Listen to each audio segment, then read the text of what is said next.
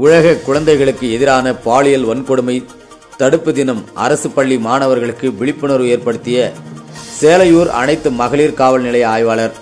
சிறுமி ஒருவரை ஒரு நாள் ஆய்வாளராக்கி சல்யூட் அடித்து மரியாதை செய்தனர்.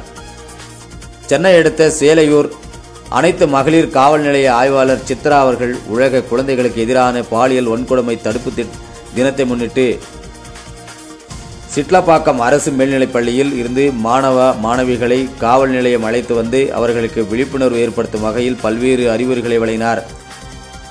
மேலும் போலீசாரை கண்டால் தவறு செய்தவர்கள் தான் பயப்பட வேண்டும் நல்லவர்கள் பயப்பட வேண்டாம். போலீஸ் ஆகிய நாங்கள் உங்களுக்கு உதவி செய்ய தான் இருக்கின்றோம்.